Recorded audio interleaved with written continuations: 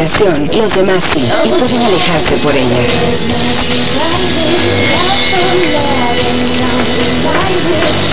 No dejes que la transpiración arruine tu día. Rexona no te abandona. Una marca Unilever. Existe un programa donde vos sos el protagonista. Opinar sobre algo o simplemente saber sobre algo de lo que tenemos tú. Queremos divertirnos, pasarla bien con responsabilidad y sobre todo irnos de party. Todos los miércoles a partir de las 20 horas por región más proyecta tu identidad. Préndete donde vos sos el protagonista.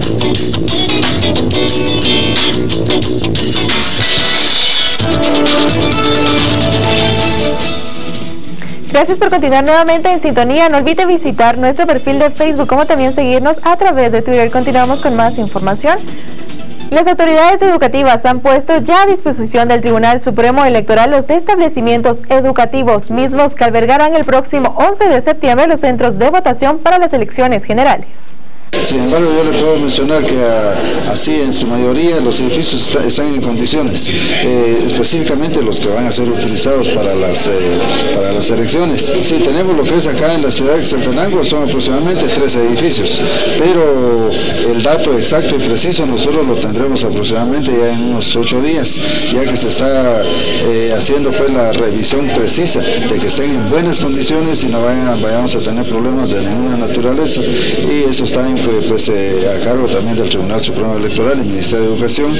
Por su parte, la Junta Electoral Departamental espera una mayor coordinación en este tema, además por el invierno, ya que se prevén lluvias el día del evento electoral, pensando también en los centros educativos que funcionan como albergues. Con Red eh, y, otras organizaciones, que no soy puntual en esto, trataron el problema eh, meteorológico que va a haber o el asunto climático que va a haber para el día de las elecciones. Y se teme, de acuerdo al Centro de Pronóstico, de huracanes de Miami, de que parece que en esos días vamos a tener problemas climáticos en, en, la República de Guatemala. Entonces sí, eh, también tenemos que conjugar los establecimientos en donde han funcionado los centros de votación con los que van a ser designados también como, como albergues. La adquisición del finiquito ante la Contraloría de Cuentas ha dilatado la inscripción de candidatos a diferentes cargos públicos ante el registro de ciudadanos, donde se han recibido solicitudes de extender el plazo de este trámite. En ese tema, que si se debe exigir como requisito para la inscripción el finiquito, recogimos la opinión de distintos actores políticos. Nosotros creemos que se debe respetar la ley. Eh, obviamente, aunque no compartimos la resolución del Tribunal Supremo Electoral, respetamos. Eh, en lo que respecta a la organización Unigana de Satanás, no tenemos ningún problema, no hemos solicitado, estamos dentro de los plazos legales todavía, de acuerdo a la ley, hasta el 11 de julio se pueden inscribir candidaturas. Nosotros no tenemos problema, esta misma semana completamos lo que nos podría hacer falta, estamos listos para participar. Mientras fuera el máximo dirigente de Victoria, Abraham Rivera, esta es una obligación de toda persona que aspira a un puesto público. nosotros consideramos que es eh, una obligación de todas aquellas personas que han tenido algún cargo público y tienen que cumplir con, con ese requisito legal. Nosotros en Victoria estamos eh, solicitando que todos nuestros candidatos hagan su trámite de forma inmediata para no tener ningún problema en la inscripción.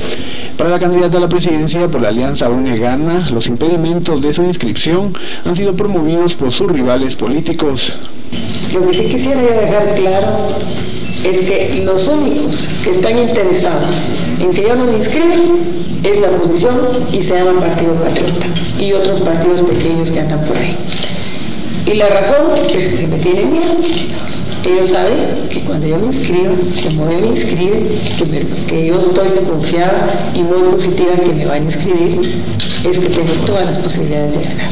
Y sobre esta acusación conversamos con dirigentes departamentales del Partido Patriota, quienes confirmaron que es la misma familia de la candidata quien ha obstaculizado su inscripción.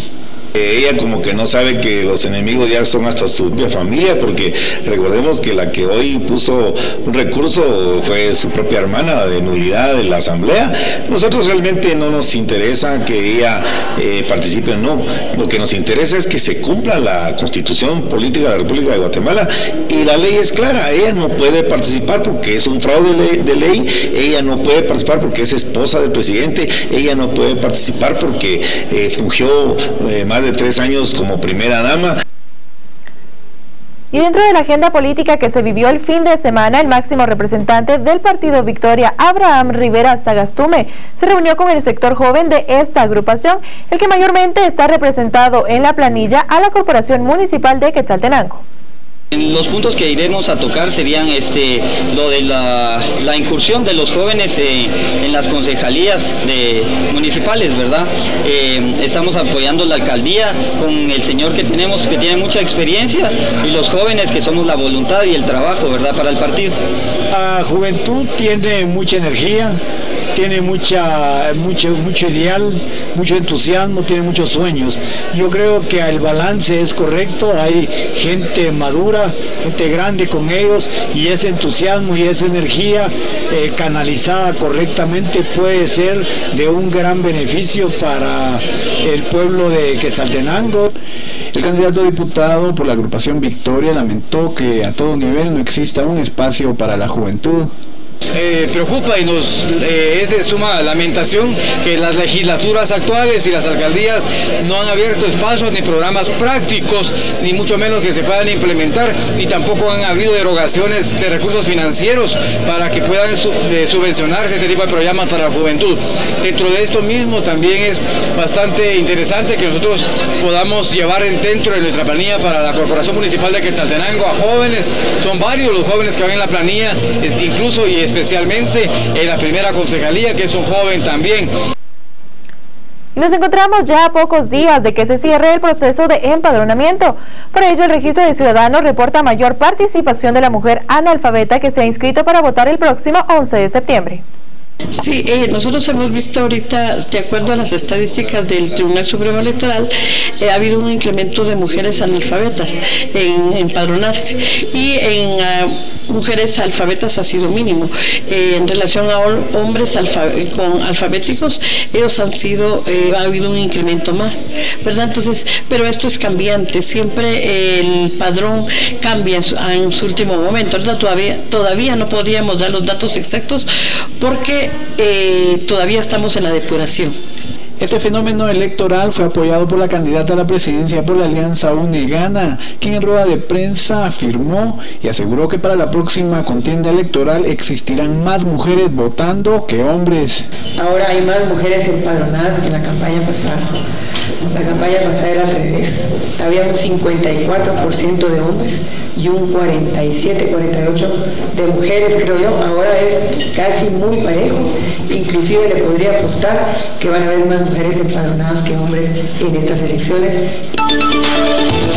Nuevamente nos detenemos y a volver Radio Patrulla protagoniza accidente en la zona 2 y Sandra Torres expone su plan de gobierno en esta ciudad. Los detalles al volver.